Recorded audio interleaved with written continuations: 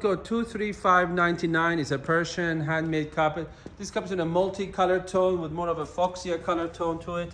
Get these one style of carpets, very nicely mixed together with like the design of the background of the carpet in a very good size. And if you have any further questions about this carpet or any carpet in our collection, you can also contact us and we'll be happy to assist you as best as we can.